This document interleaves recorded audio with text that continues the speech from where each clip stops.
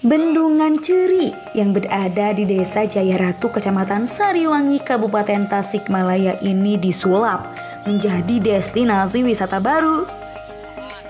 Meski bendungan berada di sebuah daerah terpencil di Kabupaten Tasikmalaya, tetapi dengan pesonanya membuat banyak orang yang mengunjungi objek wisata baru ini. Bahkan untuk yang suka berburu wisata, Bendungan Ceri ini tak sekedar menyuguhkan pemandangan alam, namun juga menyuguhkan beragam spot menarik untuk selfie atau swafoto. Itulah yang menjadi keunggulan dari destinasi wisata baru di Tasikmalaya ini. Selain untuk masuk ke tempat ini bayarnya tidak mahal, cuma bayar seikhlasnya saja juga memiliki spot untuk swafoto dengan pemandangan yang keren.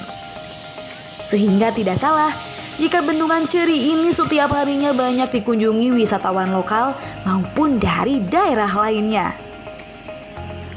Rudi Ubed warga setempat menyampaikan saat ini sedang menunggu perizinan dari BBWS untuk dijadikan destinasi wisata. Banyak wisatawan lokal yang mengunjungi ke Bendungan Ceri ini. Bendungan Ceri ini menyuguhkan pemandangan bendungan yang begitu indah. Ada juga taman untuk pengunjung sehingga bisa bersantai sambil menyantap timbel bareng sama keluarga. Di sekitaran bendungan Ceri ini pun bisa digunakan untuk berenang, tapi harus tetap berhati-hati karena cukup dalam, yakni sekitar 3 meter. Jadi tunggu apa lagi bagi yang mencari tempat wisata murah anda bisa datang ke lokasi ini.